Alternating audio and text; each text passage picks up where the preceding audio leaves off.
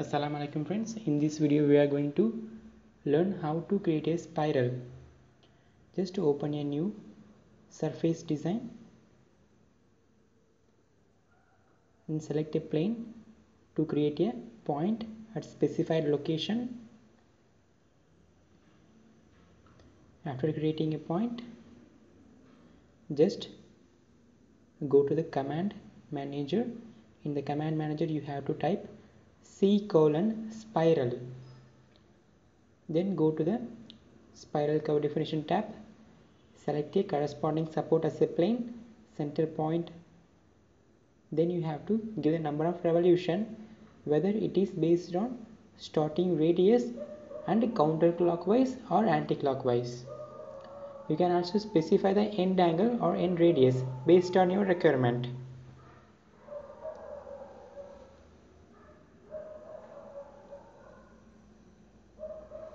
after specifying the, all the parameters just click ok and exit from the spiral tab.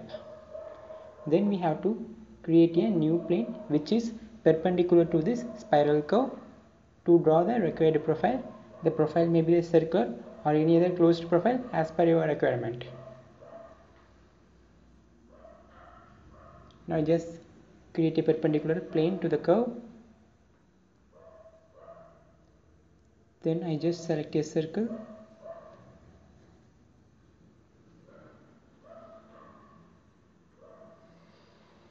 Here we have specified the full circle and with corresponding radius.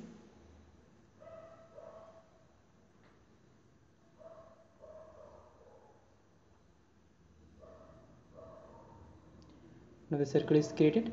Then go to the swept surface definition. Here you can select a normal self pipe